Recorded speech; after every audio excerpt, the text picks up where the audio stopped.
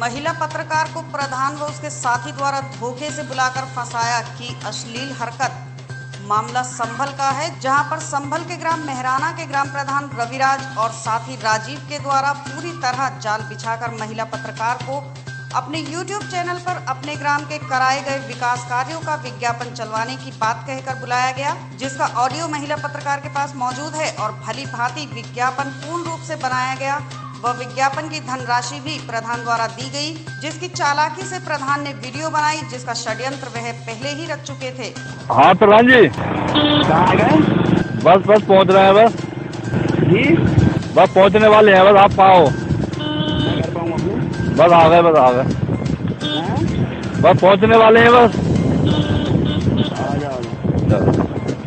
पैसे के लेन देन के बाद ग्राम प्रधान मौजूद पत्रकार, महिला पत्रकार से अश्लील हरकतें करने लगे। उसका महिला पत्रकार और उसके साथी ने विरोध किया। तो प्रधान और पत्रकार ने महिला पत्रकार और उसके साथी को बंधक बना लिया।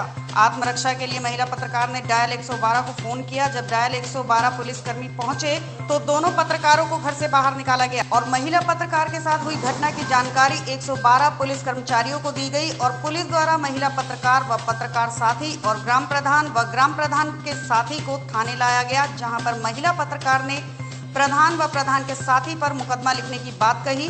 अपने आप को फंसता देख ग्राम प्रधान व साथी ने महिला पत्रकार से थाना प्रभारी थाना नखासा के सामने समझौते की बात रखी और समझौता भी कराया गया। समझौता होने के बाद महिला पत्रकार अपने घर आ गई, परंतु थाना प्रभारी नखासा के द्वारा महिला पत्रकार पर झूठा मुकदमा, सारी जानकारी होने के बाद भी मुकदमा लिख दिया गया।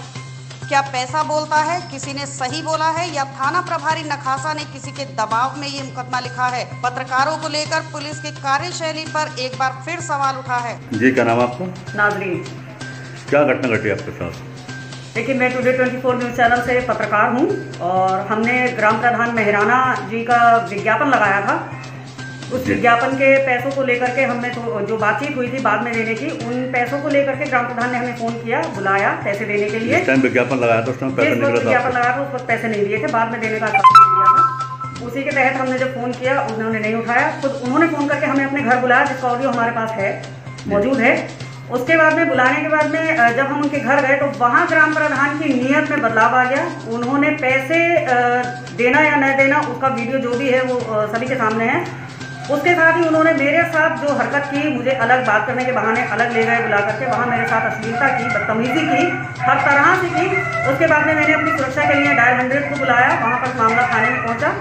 और मेरी तहरीर थाने में आज भी जमा है, हालाँकि परसों से दी हुई है, लेकिन उस पर अभी तक कोई कार्रवाई नहीं हुई है। मेरे साथ जो अश्लीलता हुई है ग्राम प्रधान द्वारा और एक पत्रकार वहाँ मौजूद थे। आप थाना अध्यक्ष से मिले थे? जी थाना अध्यक्ष से मेरी मुलाकात अभी तक नहीं हुई है। उस वक्त में हुई थी वहाँ उस दिन जो है सुलहनामा हो करवा दिया गया था ग्राम प्रधान द्वारा। क्या थाना अध्यक्ष में मौजूद थे? जी हाँ जब थे मौजूद। जब तो आपका सुलहनामा हुआ था जी हाँ सुलहनामा हुआ था मौजूद थे। हम्म। तो सुलहनामा के बाद क्या हुआ?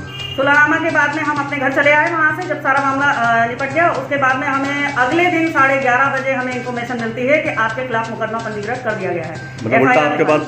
आपके खिलाफ मुकदमा हुआ? जी उल्टा मेरे खिलाफ मुकदमा कर दिया गया है। आपने ग्राम प्रधान के खिलाफ जो आपके साथ अश्लीलता करी है आपने ग्राम प्रधान के खिलाफ तहरीर दी? जी बिल्कुल दी है। तहरीर मेरी आज से नहीं उसी दिन जिस वक्त मुझे इन्फॉर्मेशन मिली थी तुरंत उसके एक घंटे बाद ही मेरी तहरीर वहाँ पर जा चुकी थी। क्या कोई कार्रवाई हुई अभी तक कोई कार्रवाई नहीं हुई है। इस बात को तीन दिन गुजर चुके हैं। आज तीस चौथा दिन शुरू आप क्या चाहते हो?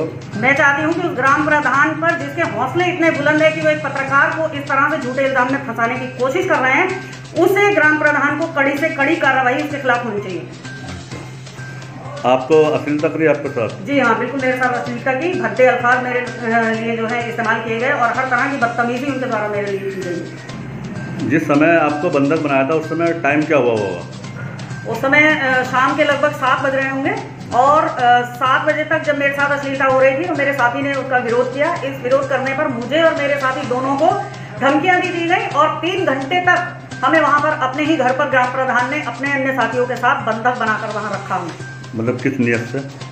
किस नियत से हो सकता है हमें कुछ और इरादा हो सकता है वो हमारे साथ हमें जान की खतर, जान को भी खतरा हो सकता है। मेरे साथ भी कुछ अनहोनी घटना घट सकती थी। और वो तो हमें कह रहे थे कि हम पुलिस बुला रहे हैं ये बुला रहे हैं लेकिन तीन घंटे तक हम वहाँ बैठे इंतज़ार करते रहे उनके बंदी बनकर इंतज़ार करते रहे लेकिन ना तो कोई वहाँ पुलिस आई ना कोई ऐसा कोई भी वहाँ पर नहीं आया। बल्कि सौ नंबर डायल मैंने अपनी सुरक्षा के लिए जो बुलाई थी वो वहाँ पर आई जब मैंने उनको बुलाया।